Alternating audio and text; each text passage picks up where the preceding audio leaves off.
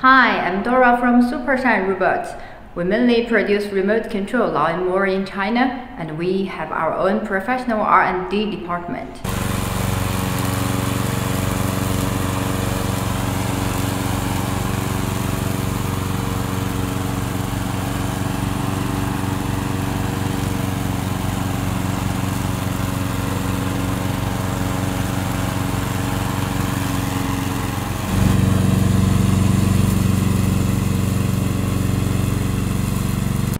The remote control range can be 200 meters and it can work for 6 hours with a full tank of gas.